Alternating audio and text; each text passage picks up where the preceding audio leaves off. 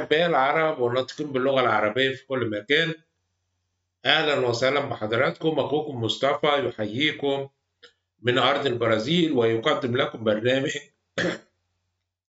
رحلة البحث عن الله عالم علوم الأرواح للعالم الفرنسي. ألان كارداك آه، بنكمل في سلسلة آه، الأسباب الستة للكارما. أو الأسباب الكارمية الستة ليه لماذا نأتي إلى كوكب الأرض؟ وأنا قررت أعمل الحلقات دي ورا بعضها كل يومين علشان ننهيها فأرجو من الجميع إن هو يشوف كل الحلقات.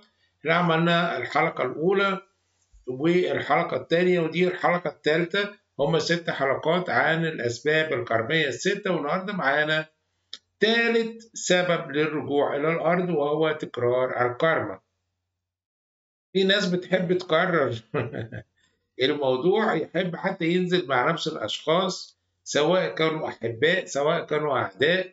في ناس بتحب يرجع مع حبيبه اللي في الحياة السابقة. يمكن كان عنده آه تخيل إن أنت عايش في حالة هنا مع آه أحسن إنسان بتحبه في الدنيا. وكل العلاقة ممتازة جدا جدا ما فيهاش أي نوع من المرض. فممكن انت تتوق للرجوع مع نفس الشخص تتجوز من جديد وتعيش نفس الهنا اللي انت كنت عايش فيه قبل كده. يعني لأن الناس ما بتتغيرش من من بطريقة رأسا على عقب من حياة لأخرى. تغير طفيف جدا. يعني زي ما إحنا بنقول لو عايز تعرف حياتك السابقة انظر إلى حياتك الحالية. ما فيش ارتقاء يعني عنيف يعني. فيلا بينا مع بعض نشوف الحلقة وإن شاء الله تعجبكم. أيضا الدكتورة ساندرا تيلر هتحكي قصتها الشخصية. كان عندها أزمة في التنفس وكده. هتشوف إيه السبب. هي شرحته في جزء منه في الفصل الأول. النهاردة هتشرحه بشكل أعمق. وإيه الأسباب اللي خلتها تقع في ضيق التنفس؟ وإيه الدرس اللي هي جت عشان تكرر الكارما دي مرة أخرى. okay؟ والتشفير اللي شفرته في روحها بحيث إن هي ترجع بنفس المشاكل. فيلا بينا نبدأ مع القناة. أرجو طبعا ال like وال share والإعجاب عشان ننشر الفيديو يعني. خد ثانية واحدة مجانا مش هتتعب يعني. ماشي؟ okay. السبب الثالث هو تكرار الكارما. يعني الواحد عايز يكرر الحياة اللي هو موجود فيها دي بحذافيرها عايز يرجع تاني وي... من الأول عشان الحبايب يعني. مش شرط تكون خبرات موجبة ممكن تكون خبرات سالبة أيضا. من قراءة الموضوع وطويل شوية هتقدر تفهم كتير جدا. لما تفهم كل الأسباب دي كويس جدا لما يجي حد يسألك عن الكارما عن الحاجات دي يبقى عندك معلومات دقيقة مش مجرد تقول آه ده بتاع الناس الصينيين الهندوس دي وثنيات ده حاجات كده. بشوف حتى الشيخ شيوخ مسلمين بيحاولوا مجرد ما عندهمش فكرة إيه الكارما إيه الرجوع إيه الحياة السابقة لكن بيفتي بقى ويقول لك لا دي وثنيات دي مش عارف إيه ده ناس جايين ضد الإسلام. محدش ضد الإسلام ما تخافش. كل واحد في العقيدة بتاعته يعني okay؟ فنشوف عقيدة الكارما دي وتكرار الكارما.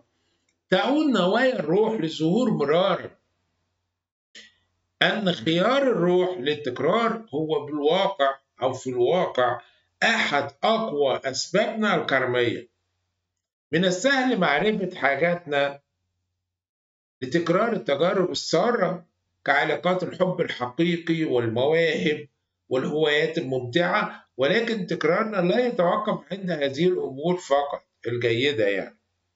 قد يبدو الأمر مذهلا لكننا نرتبط بالتأثيرات السلبية والأوقات الصعبة أيضا. تنشأ حالة عاطفية مشحونة عندما يتشكل ترابط متين وكلما قويت العلاقات سواء كانت صعبة أم لا كلما تشفرت في وعينا بعمق ما يضطر الروح لتكرار التجربة وينتهي الأمر بأن تستدعى الشخصية للتحرر من المرفقات السامة وإعادة التوازن والدوافع النقية إليها. على فكرة أنا آه، قريت الموضوع طبعا قبل ما بحضره يعني ما ما جابتش سيرة الانتحار ميز. لكن من أكثر الحاجات بتخلي الشخص يكرر الكارما الانتحار لأنه آه، بيهرب من واقع معين من الحياة من ظروف الحياة وهكذا. فبيأتي هو نفسه بيقرر إن هو عايز يعيد نفس الجرة وحتى بيطلب منهم يصعبوها لأن المرة دي أنا هنجح ومش ههرب والحاجات دي كلها. فبيعود يعني. لكن هي لن تذكر أي شيء عن موضوع الانتحار يعني. أوكي؟ نكمل. دعونا نلقي نظرة على بعض الطرق التي تظهر الأنماط المشفرة فيها. أولا الأنشطة الممتعة. يدعونا إحساسنا المدهش المشفر بالمتعة للعودة. مرارا نخذل نوايا روحنا الأولية حين لا نأخذ وقتنا للتمتع بغياب الشمس أو بمذاق قطعة فاكهة تريدنا الروح أن نعرف بأننا قد نفقد الفرصة وتمثل سلسلة الأحداث الصغيرة على ما يبدو أجمل لحظات الحياة. في ناس بتعدي عليها كل شيء بدون ما يتمتع بمنظر بلوحة إيه، برائحة الزهور زي ما بقول لك غياب الشمس شروق الشمس تذوق قطعة فاكهة استماع لموسيقى جيدة الحاجات دي. بتلاقيه هو ليه أنا سبت نفسي الحياة بتمر؟ زي ما هنقول بتمر زي الضرب على القفا سريع سريع. وبعدين بتيجي أنت بتلاقي نفسك أنا كنت بهبب إيه على الكوكب ده؟ يعني أنا قعدت حياتي كلها دي بدون ما تمتع بأي شيء فبتلاقي هذه الأشياء آه، بتحاول أنت ترجع تكرر التجربة بس المرة دي بقى هتحاول تتمتع بكل شيء من حواليك. واخد بالك؟ الطبيعة الجميلة دي اللي إحنا عايشين فيها. أوكي؟ آه الإدمان. الإدمان ده شيء رهيب يعني. الإدمانات المتكررة في ناس يعني تخيل المنظر واحد متعود إن هو يسكر أو متعود إن هو مخدرات مغالى فيها وكده. بتلاقيه رجعوني وحتى بيحاول يضحك على المرشدين بتوعه لا أنا هبقى كويس وتمام. بس هو في خطتي هرجع للحشيش تاني أو هرجع. والناس اللي عندها إدمان بيبقى بيعطوك إلى الفكرة دي ومش عايز يتخلص من الإدمان ده. بتلاقيه هو عايز يكرر ويشوف التكرار. من أسباب الرجوع التكرار. أوكي؟ نشوف الإدمان الإدمانات المتكررة. تتحول تجربة ممتعة في ظاهر الأمر. بالنسبة لي دي ممتعة. خد بالك؟ إيه إيه إيه. أحيانا إلى عادة توجه زخم حياتنا كلها. إذا كنا مدمنين على الطعام أو الجنس أو المخدرات أو أي شيء آخر القمار مثلا تصبح الرغبة فيما هو معتاد وفي الهروب لا تقاوم. بيبقى الراجل عايز عايز يرجع بأي شكل عشان إيه؟ يكرر الخبرة اللي هو بيعتقد إن هي جميلة بالنسبة له. ما يجعلها مشفرة وننقلها معنا إلى وجودات مستقبلية. من أهم مهماتنا في هذه الحياة التخلي عن هذه الأنماط المفرطة وإعادة تعريف تعريف أنفسنا بالسلام. والقوة المنبثقين من هويتنا المقدسة. لازم تعرف إن أنت بلاك إن أنت شخص أعلى من مجرد الجسد المادي اللي أنت شايفه شوية هزار وشوية لعب وكده. نكرر إدماناتنا غصبا بطرق أصعب. إلى أن ندرك بأنها تعرقل ارتباطنا الروحي وتعزز أولوياتنا الزائفة. والدرس هنا هو ترك المادة والعودة إلى المصدر. شوف عملية الإدمان دي. شوف بعد كده الأنماط الشخصية. ليس غريبا أن نعود بنفس شخصياتنا السابقة. زي ما قلت لك انظر إلى حياتك الآن. هي حياتك السابقة يا حد إذا تعلمت الإذعان فقد اعتدت في الحياة السابقة وستستمر في تكرار النمط. حتى تتعلم كيف تدافع عن نفسك. مش لازم نستسلم للظلم والحاجات لازم ندافع عن نفسنا لازم نقاوم. ل... انت هنا مش عشان تجعل من شخصيتك شخصية قوية. أو لو كنت تميل للاهتمام بالآخرين فمن المحتمل أنك كنت كذلك في الماضي ومع الأشخاص ذاتهم. من المهم الخروج من الطراز البدائي ده البدئي. قد يكون كسر قالب شخصيتك هو من أصعب الأمور التي تضطر للقيام بها في هذه الحياة لكنها ضرورية في المستقبل يعني. في حال تعارض طريقتك القديمة مع مسار روحك نحو التوازن والشرف والتنوير. برضو من تكرار العلاقات من أسباب اللي هي إيه؟ تكرار الكارما تكرار العلاقات.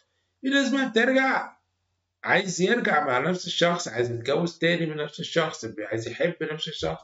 أو شخص عايز تيجي أمي مرة أخرى وأكون ابنها مرة أخرى أو بنتها مرة أخرى عايز أكرر دي كانت خبرة جميلة. تكرار العلاقات. نرجع أحيانا مع الأشخاص أنفسهم بدافع تكرار رحلة ممتعة فقط. ليس غريبا أن نعيد تجربة شملت عاطفة ودعما وحبا ولطفا. كما نميل أيضا لإعادة علاقات غير مريحة للأسف يعني وغير صحية أو حتى عدائية. تحفز هذه الأنواع من التكرارات جزءا جزئيا عبر معرفتنا بالأشخاص المعنيين لكنها تأتي أيضا من رغبة الروح في تعلم الدروس التي يجلبها ذاك التواصل. يعني أحيانا بيتعود عشان تكسر إيه علاقات معينة سامة وتتخلص منها. وسواء كنا بوضع غير مشرف بسبب الخوف أو بسبب التزام حياة ماضية أو بسبب عادة عادة متأصلة فينا يتعين علينا التحقق من دوافعنا الحقيقية. إن الأهداف النهائية لأرواحنا هي الحقيقة هي الحقيقية. لا الحقيقية لا. إن الأهداف النهائية لأرواحنا هي الحقيقة. إحنا كلنا بنبحث عن الحقيقة. محدش عايز يضحك على نفسه يضحك على الناس يدلس زي ما بيقولوا. المفروض أنت بتكون أمين مع نفسك اولا وبعدين بتنقل الأمانة دي للناس بتنقل الشيء بأمانة. اللي انت أنا اللي أنا بنقله لكم اللي أنا مقتنع بيه. ممكن لو اكتشفت إن في شيء خطأ أنا أعترف والله ده كان خطأ. ليه؟ لأن أنا في البحث عن الحقيقة لا أحد يملك الحقيقة المطلقة. فالاهداف النهائية لارواحنا هي الحقيقة.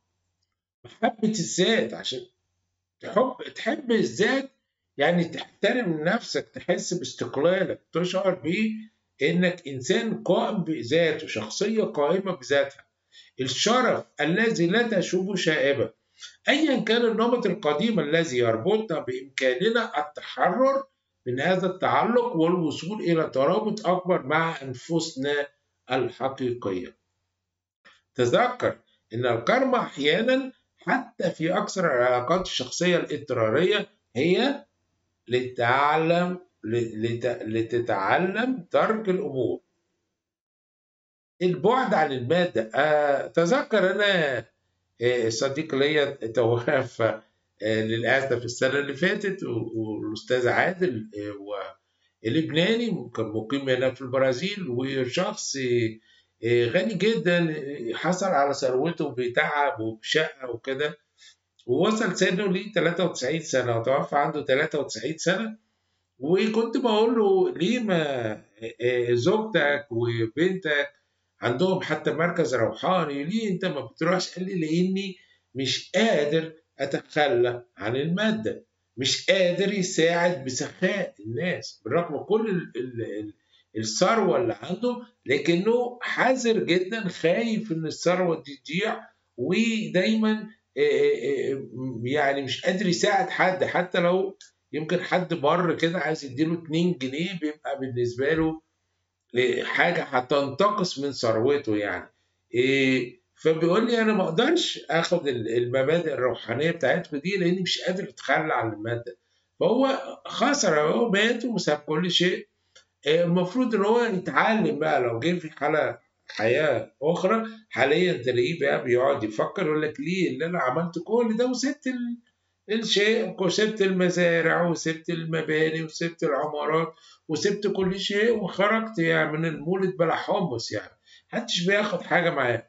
وممكن هو يتعلم بقى في الحياة القادمة إن هو يكون ساخي واخد بالك؟ هي دي الفكرة يعني. آه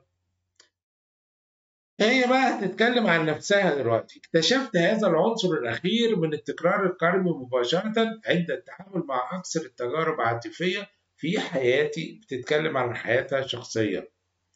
هل تذكرون حديثي عن أول رجعة لي إلى الماضي وموت ذاك الطفل بسبب التهاب رئوي والذي كان مصدر الربو والالتهابات الجهاز التنفسي لدي؟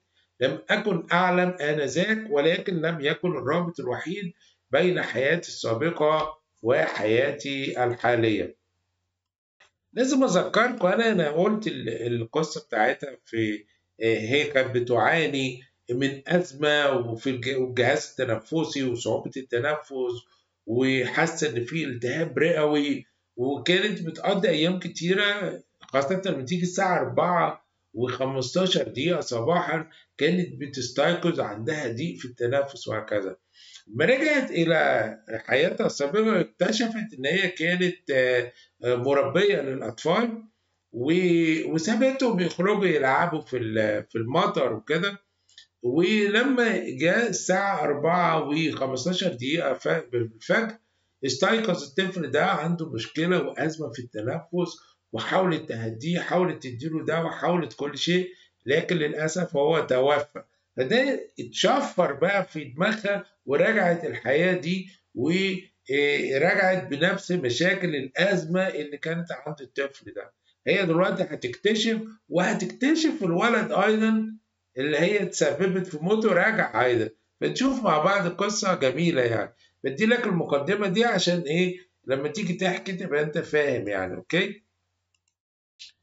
هل تذكرون حديثي عن أول رجعة لي إلى الماضي وموت ذاك الطفل بسبب التهاب رئوي والذي كان مصدر الربو والالتهابات الجهاز التنفسي لدي لم أكن أعلم ذلك آنذاك. أعلم. لم أكن أعلم آنذاك ولكنه لم يكن الرابط الوحيد بين حياتي السابقة وحياتي الحالية. بعد حوالي عشرين عاما كنت بصدد تبني طفلين. كنت وزوجي نبحث عن دور أيتام أجنبية باحثين عن أطفال أكبر سنا ويصعب تبنيهم. قررنا تبني طفلين في الوقت ذاته حتى يتسنى لهما البقاء معا لتسهيل مسألة الانتقال الصعبة. okay okay. عملية تبني الأطفال من أنبل المهام في الدنيا دي. آه للأسف في في الإسلام يمكن مفهوم غلط عن موضوع التبني ده موضوع آه ادعوهم لآبائهم والحاجات دي فبنلاقي عملية التبني آه صعبة يعني. لكن هنا التبني سهل جدا جدا بينقذ أطفال كتير آه كان عندي ناس كتير كانوا بيدخلوا المدرسة عندي مدرسة خاصة غالية وكانوا أهاليهم بتساعدهم واكتشفت إن هم شالوا شالوا الأولاد الأطفال دي من الملجأ وكده من الملجأ الأيتام من دار الأيتام وربوهم بمنتهى الحب ومنتهى الرعاية وتعليم عالي ومعهد الكونسرفتوار يعزف عزف جيد فحاجة ممتازة رسالة رائعة. بتاخد إنسان ضايع ملوش أب وأم وتبتدي تعتني بيه. فعادة الناس اللي بتحب تتبنى دي بتذهب إلى الملاجئ وبتختار الأطفال الصغيرين اللي هم مولودين حديثا عشان يتربوا معاهم. لكن لما الطفل يكبر يبقى عنده 8 سنين 10 سنين محدش عايزه. فهي شوف إحساسها وزوجها إحنا عايزين ناخد الأطفال الصعبة التبني السهلة التبني تمام. فناخد طفلين كبار واتنين مع بعض عشان يبقى في تعايش وفي تأقلم ما يحسوش بوحدة يعني تاخد طفل لوحده خاصة إن هو مش صغير عشان تربيه لسه ده هو إيه جاهز عنده 10 سنين 11 سنة الفكرة هي دي. وبعدين هي هتكتشف بقى موضوع الأطفال دول وعلاقتهم بحياتها السابقة حاجة ظريفة يعني. بعد حوالي 20 عاما كنت بصدد تبني طفلين.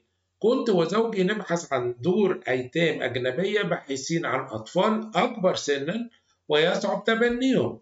صعب تبنيهم. قررنا تبني طفلين في الوقت ذاته حتى يتسنى لهم البقاء معا لتسهيل مسألة الانتقال الصعبة. وجدنا دار للأيتام بعد سنوات من البحث في سانت سانت بطرسبرغ في روسيا. شاهدت من خلال هذه العملية الطويلة لتحديد الأطفال عددا لا يحصى من الصور وأشرطة الفيديو. اخترت في النهاية فتاة ولأنه لم يكن هناك مجموعات شقيقة متوفرة في ذاك الوقت. بحثنا عن فتيان في دار الأيتام في, في دار الأيتام ذات إذا هي قررت مع جوزها يتبنوا طفلين بنت وولد. فقدرت هي آه، لقت البنت بطريقة أسهل.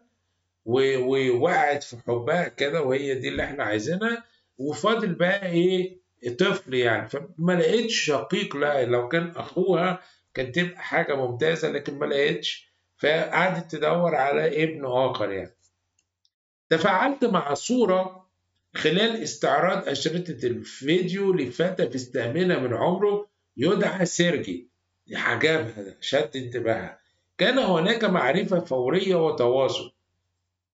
وقعت عارف انت؟ هو ده. إيه، فكان في إيه, إيه كان هناك معرفة فورية وتواصل عميق وطوق لجمع الشمل. لم أتلقى مثل هذا الشعور من قبل رغم الآلاف من الصور التي رأيتها خلال السنوات الثلاث السابقة. باشرت بالمعاملات لتبني سيرجي إلى جانب ابنتي التي اخترناها آه، فيكا okay باشرت بالمعاملات يعني الأوراق والحاجات دي والمحكمة مش سهل التبني لعلمك. وبيطلع بقى نفسيين بيروحوا يزوروا البيت يشوفوا الطفل هيعيش إزاي وكده. مش أي حد يرموه لواحد عايز طفل ممكن ياخده يتاجر في الأعضاء ولا الحاجات دي. ف لازم الحكومة ودار الأيتام يكون عندهم متخصصين بحيث إن هم يشوفوا مين الآباء دول وتاريخ حياتهم وكده قبل ما آه، والمحكمة توافق إن هم يعملوا التبني. كنت مقتنع إن هناك ترابط قديم بيننا وآن سيرجي. كان الخيار الصحيح وأن سيرجي كان الخيار الصحيح هو ده حاسة إن هو ده الشخص اللي أنا عايز أتبناه. عرفت إن أنا عشت حيوات ماضية معه بعد كده عرفت إن هي كانت في الماضي عايشين مع سيرجي والرغم إن هو في هي في الولايات المتحدة وهو فين؟ هو في روسيا. لكنني لم أكن أعلم أنه هو الصبي الصغير الذي مات عندما كنت مربيته. فاكر ال ال ال ال الطفل اللي توفى الساعة 4 وربع صباحا من الرابو والحاجات دي؟ هو اللي توفى هو حاليا سيرجي اتعرفت عليه. رغم إني لم أفكر بذلك بذاك الوجود لوقت طويل إلا إنها ظهرت تلك التجربة بالحال عندما تأملت في الروابط الخفية لهذا الموضوع. اتضح بأنه الصبي الذي مات بالتهاب رئوي أتاني بالعمر ذاته عندما تركني بذات التقمص شافته بقى في نفس السن اللي هو مات وكان عنده 8 سنين ظهر لها حاليا وهو عنده 8 سنين. كنت بغاية السرور لأننا سنكرر تواصلنا المحب وظننت بأنني سأعطيه الحياة التي سلبتها منه. لأن هو لما مات حست هي اللي سابته يخرج في الشتاء وأنا اللي سببت له وعذبت نفسها الوقت كله يعني. وظننت بأنني سأعطيه الحياة التي سلبتها منه آنذاك وعندها سوف تنحل كرماتنا هي دي.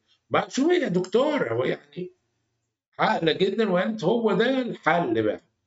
اقتنعت من الاستشعار بأن هذا السبب بالذات هو جزء من قدري تابعت التأمل بهذا الموضوع كما أفعل دائما بشأن القرارات المهمة طالبة الإرشاد الروحي انتابني بعد قليل من هذا التأمل شعور غير مريح. وسألت ما معناه. الدكتورة دي وسيطة أيضا كان المرشد الروحي بتاعها بيكلمها يعني. استلمت جوابا محبطا من الروح من من المرشد ولكنه كان واضحا دون شك. قد يكون هذا الطفل مات تحت مسؤوليتك ولكن الوقت حان للتخلي عن هذه العلاقة. لازم تسيب العلاقة دي. وعن الشعور بالذنب لازم تتخلي عن الشعور بالذنب والمسؤولية التي طالما حملتها على حملتها على عاتقك.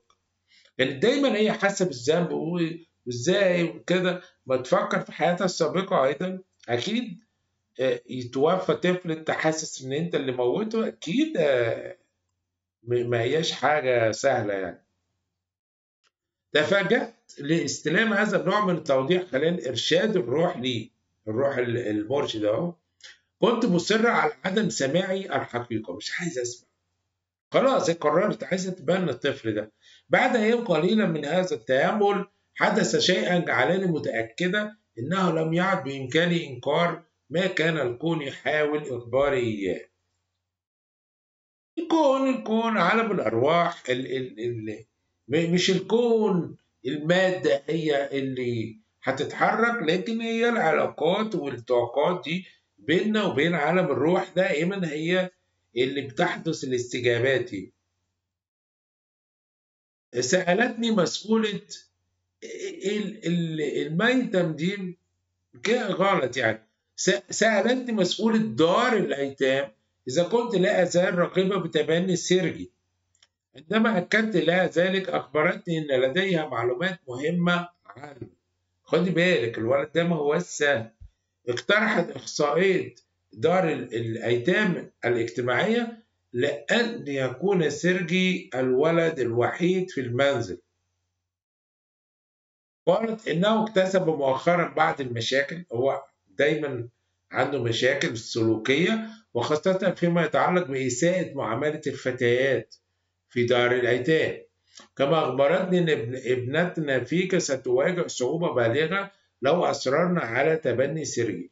ما ما أوضحتش الموضوع لكن قالت الولد ده عنده مشاكل كبيرة جدا خاصة مع الفتيات سبب لفتيات كتير. وخاصة فيكا دي. لو انت خدتيها وقعدتيها مع الولد ده هتحصل مشاكل تقيلة لأن أنتوا مش موجودين في البيت يعني. حذرتها من موضوع التبني السرجي دي. كانت الروح قالت لها قبل كده المرشد بتاعها لا سيبك تخلصي من العلاقة دي. انت مش مسؤولة عنه وسيبي هو أيضا ليه هو لازم يشق طريقه يعني؟ فكرت في الرسالة خلال تأملي وعرفت أنه كان علي ترك سرجي.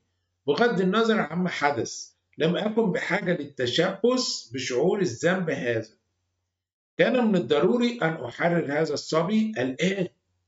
إلى جانب تلك المسؤولية واللوم الذاتي عرفت أن هذا الخيار كان ضروريا لعملية لعملية سيرجي أيضا. عملية ال reincarnation بتاعته والتقدم بتاعه بتسميها عملية يعني. فدي كان ضروري ليها وضروري ليه أيضا إن هو يبتدي عملية الاستقلال والانفصال عنها. ما كنا نحتاجه حقا هو الانفصال الكرمي لأن تكرروا مع بعض مش فقط الحياة السابقة حيوات أكتر يعني. اقترحت مسؤول الدار دار الأيتام صبي آخر. خدي ولد آخر يعني. لم أرى شريط الفيديو عنه لأنه كان ضمن مجموعة لفئة عمرية أكبر. كان أكبر يعني كان عنده 11 سنة باين. يدعى جي جينيا وأصبح ابننا ولدا ذكيا ولطيفا وكان وجوده إضافة محببة لعائلتنا وأنا ممتنة بعمق لذلك. لا أستطيع بالواقع التصور بأن يكون غيره ابني. دي دي شوف شوف الشعور ده جميل جدا جدا. أقترح إن الناس فعلا اللي مش قادرة تخلف ما عندهمش موضوع الإنجاب أو تتجوز وهو سنه كبير فما بقاش فيه طريقة للإنجاب إن هو يتبنى. بيبقى ولد على بنت على بتيجي وتبقى حاجة جميلة جدا ويبقى هو ده الابن ويورث وكل شيء. فموضوع التبني ده شيء رائع جدا جدا ويخفف من البلاوي اللي بتحصل للأيتام دول. مهما كانت دار الأيتام دار الأيتام ممتازة برضو المعاناة بتاعت الأطفال دي مش زي ما يكون في بيت ابوه وامه ويشتروا له ألعاب ويخرجوا معاه والحاجات دي. دار الأيتام سجن. أعرف الآن دون أدنى شك بأن مصيرنا أنا وزوجي كان مشفرا بعمق مع هذين الطفلين الرائعين رغم كونهما في سن الحادية عشرة والثانية عشرة عندما تبنيناهما تبنيناهما. كان ضروريا للغاية من حيث تطور روحنا احتضان هؤلاء الأطفال والسماح لسيرجي بالذهاب. آخر حاجة بقى تدفع مشاعرنا المألوفة التكرار. حتى لو لم نتمكن من التعرف إليهما إليها أو فهمها دائما. لكننا قادرون أن نرتفع فوق دافعنا للألفة والوصول إلى مكان أكثر صحة حيث يكون الاحترام. وليس العادة هو دافعنا الوحيد.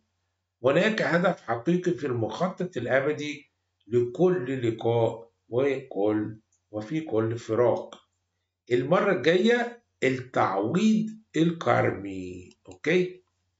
بنشوف الأسباب هنا بقى بتشوف خطة الخالق عز وجل. خطة الخالق عز وجل هو عايزك لك الفرصة عشان تبقى إنسان ممتاز. خد بالك؟ ليه؟ اللي بيتعامل معانا زي ما إحنا زي ما يسوع المسيح قال زي ما نكون أبناء مش أبناء وخلفنا. إحنا منبسطين منه. ما تعرفش إزاي سر الروح الخالدة دي اللي هي بتتعدى فترات الجسد المادي. الجسد المادي بيفنى بيموت بيفنى لكن الروح دي بتستمر. لها سر عظيم إحنا لا نعلمه. لكن الأشخاص اللي بيموتوا موجودين عايشين زينا زيهم ويعودوا في أوقات قادمة.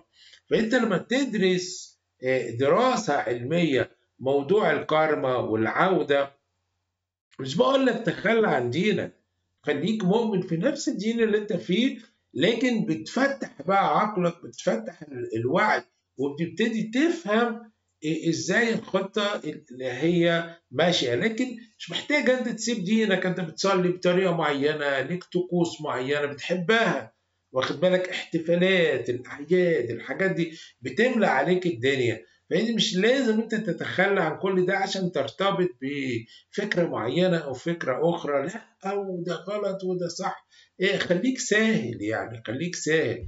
فلكن افهم لأن لما نيجي نفهم إحنا بنقدر نستفيد من الوقت اللي إحنا عايشين فيه ونرتقي نقدر نساعد اللي حوالينا أيضا. هي الفكرة هي دي.